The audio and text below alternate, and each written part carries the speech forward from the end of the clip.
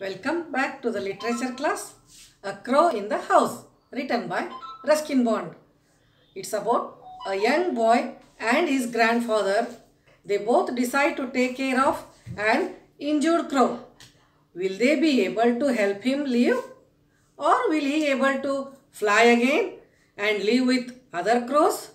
Now let us find out by reading the passage given below about injured crow.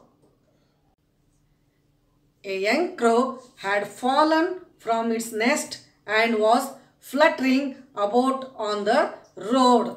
It was in danger there. Any moment it could be run over by a cart or a bicycle or it could be seized by a cat. So I brought it home. It was in a sorry condition. Its beak was half open and it could not hold its head up. We did not expect it to live, but my grandfather and I did our best to bring it around. We fed it by opening its beak gently with a pencil.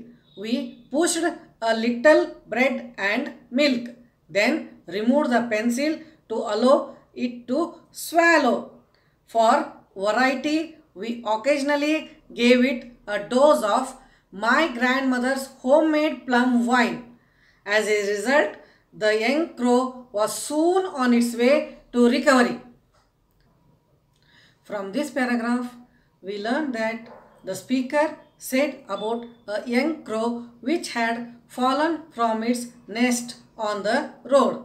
He worried that a cart or a bicycle could run over it or caught by a cat. So he brought that crow to his house. The crow was in a sorry state. His beak was gaping and head was drooping.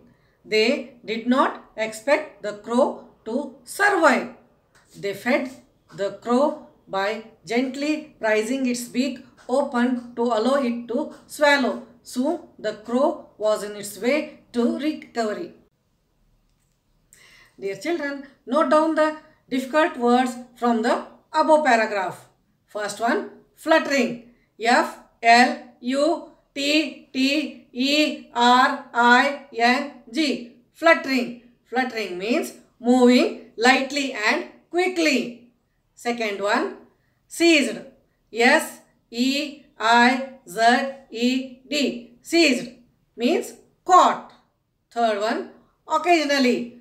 O C C A S I O N A L L Y. Occasionally means sometimes but not often.